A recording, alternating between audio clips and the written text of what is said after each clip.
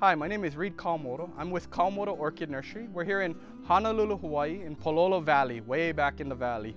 Uh, we're one of the few nurseries left that sell orchids in Honolulu nowadays.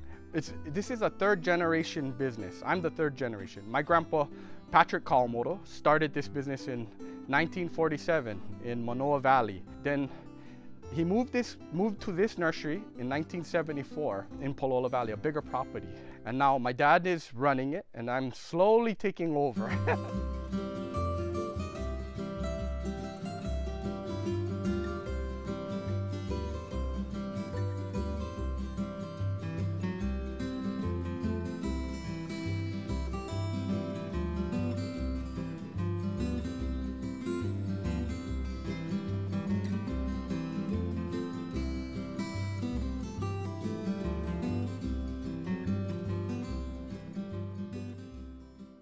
the type of orchid we grow mostly are cattleyas, the big, bigger, larger flower types.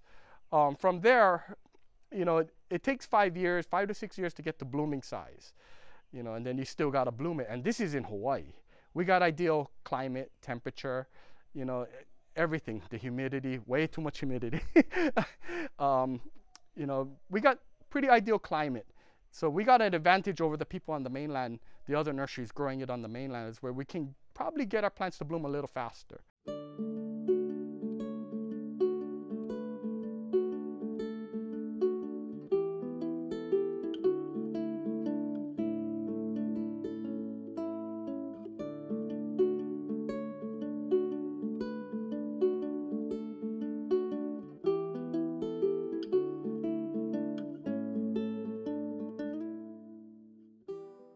What the day-to-day operations are, you know, a lot of times we're it's planting, weeding, cleaning. Most of the time it's keeping the nursery clean. You know, um, we do ship a lot of retail, a lot of orchids going to the mainland. I would say average between three to 500 a week. We put a lot of shredded wax, shredded wax paper or, or newspaper around the leaves to protect the leaves and we roll them in newspaper. Then we tape, I mean, we really tape it in the box so it doesn't move around. So usually average between 150, between 100 and 150 boxes a Monday. You know, we sell a lot on eBay. The internet has changed how the industry is run. We, we used to do a lot of mainland shows or participate in a lot of orchid shows, but now, no, we don't really have to do that anymore. yeah, we just stay home and we, we, we put the plants online, take pictures of the individual plants. And I would say it takes me two days to pull out 300 plants or more closer to 400 probably. And we have to clean the plants too. You know, you can't just take a picture of the plant natural because then it doesn't look that nice. So we stake it up. We have to, you know, wipe the leaves a little, make it shiny. You know, it's a long process, you know, and then I, I have, right now I have two eBay posters that my stepson, uh, one of my longtime workers, Kaipo, they, they, they list the plants. People want to know how big the flower is, if it's fragrant, how long does it last, does it bloom twice a year? so we have to put everything in the description. The more thorough you are, the less questions I have to answer on Sunday.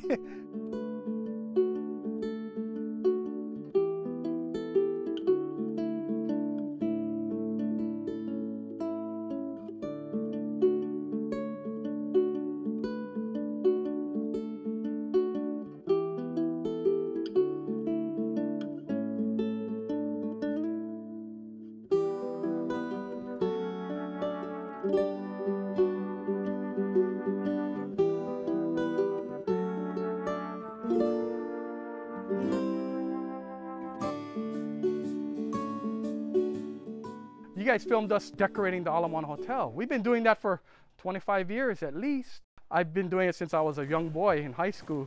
Yeah, we used to do it 2 o'clock in the morning. Oh, thank God management has changed and they let us come in, the, you know, in, in the afternoon. And it usually takes about an hour. Not bad, you know.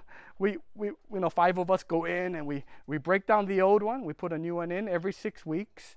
I have somebody go in there, water and change the plants out. Some of the, you know, some, you know, sometimes the tourists, they pick the flowers, you know, they, or the people that go into the nightclub, they pick the flowers, you know, they, they, they go, is that real? And they pick it and it breaks. And, you know, my worker has to go in and, oh, humbug, they, they, they broke the flower.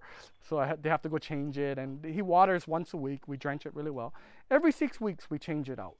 So it, it's it's it's a it's stable income, very stable, thank God. yeah.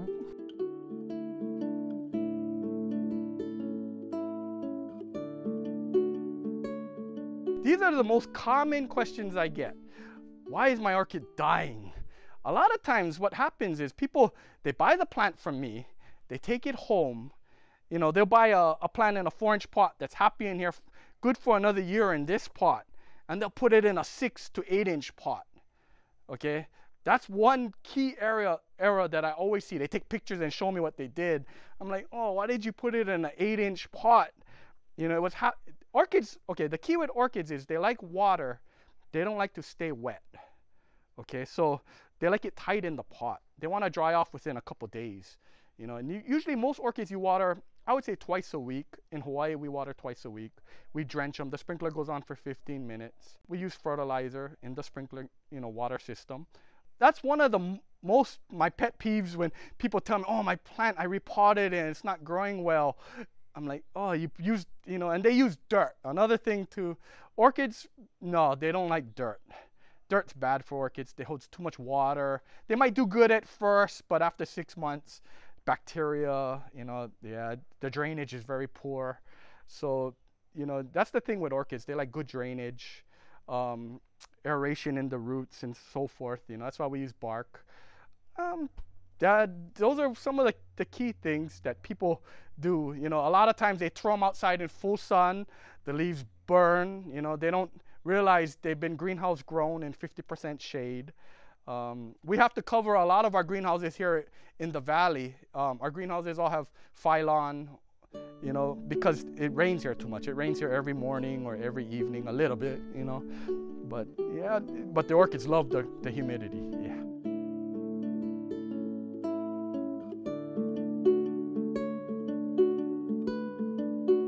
Okay, this is what I, most people start off, let me be honest, the common Phalaenopsis orchid, the butterfly orchid. I mean, nothing wrong with it. It's a, it's a perfect house plant, in my opinion. My sister in Vancouver, Washington, that's all she can grow. we sent, she gets orchids for free and she kills everything but the Phalaenopsis. In Hawaii, they're not as common. They cost more, you know, but on the mainland, they're because they have so many Korean and Taiwan nurseries up there that they grow 30 acres of one type of plant, it's become really inexpensive. yeah, so I would say the Phalaenopsis, perfect house plant. The showroom is always open, so you can look around. The nursery itself, you can just wander around. We let, you know, you guys can, like I tell most customers, oh, if you see something, just bring it up because a lot of time we don't have time to walk around with you, you know, and talk about the plants. So a lot of people just, a lot of locals like it. They can walk around, you know, look at the species on the wall. A lot of orchid societies come here. You know, most orchid societies, there's not too many nurseries to visit nowadays. And they're really happy when they come because they get to see and, you know, look at the different plants and see how it's grown. You know, when you come to the nursery, it's different. When you come to the source, yeah, it's a, it, it's pretty impressive. Yeah, when you walk around and you see, you know, 500 different type of orchids in this nursery, at least 500, probably more.